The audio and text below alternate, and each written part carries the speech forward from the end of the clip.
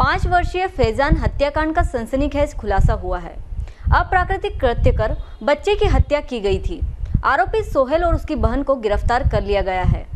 200 से ज़्यादा मकानों की सर्चिंग, हज़ार वाहनों की जाँच 100 से अधिक लोगों से पूछताछ और करीब 100 पुलिस कर्मियों की टीमों द्वारा लगातार की गई मेहनत के बाद आखिरकार पुलिस ने पाँच वर्षीय बालक फैजान की हत्या के रहस्य को सुलझा लिया है। फैजान की हत्या उसी के पड़ोसी युवक सोहेल ने बालक के साथ अप्राकृतिक कृत्य करने के बाद की थी।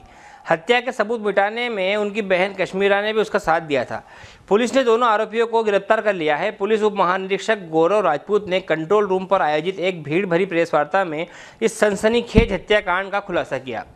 इस मौके पर एसपी गौरव तिवारी के साथ अनेक पुलिस अधिकारी मौजूद थे। राजपूत ने बताया कि विगत 13 अप्रैल को हाट की चौकी इलाके में घर के बाहर खेल रहा पाँच वर्षीय बालक फैजान अचानक लापता हो गया था। फैजान के परिजनों ने उसे काफ़ी खोजा और फिर नहीं मिलने पर उसे गुमशुदा होने की रिपोर्ट दर्ज करवाई थी। बालक फैजान की गुमशुदगी के बाद पुलिस ने उसकी हत्या के लिए सर्च ऑपरेशन शुरू किया, लेकिन कई कोशिशों के बावजूद उसका कोई पता नहीं मिल पाया। पुलिस की सर्चिंग जारी रही। घटना के करीब 10 दिन बाद फैजान का शव एक बोरी में बंधा हुआ, उनके घर के निकट के नाले में बरामद हुआ। फैजान का शव सामने आने के बाद पुलिस के लिए चुनौती और बड़ी हो गई थी।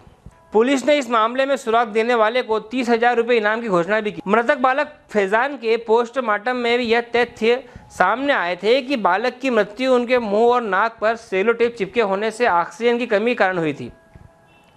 पोस्टमार्टम में यह भी संभावना जताई गई थी कि उनके साथ अप्राकृतिक कृत्य किया गया है।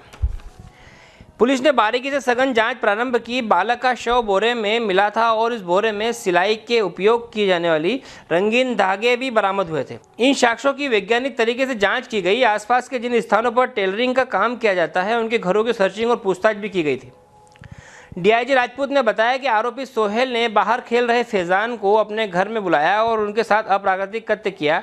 इसके बाद उसने बालक फैजान के हाथ पैरों को सेलोटेप से बाँध दिया और उसके नाक व मुँह पर भी सेलोटेप चिपका दिया।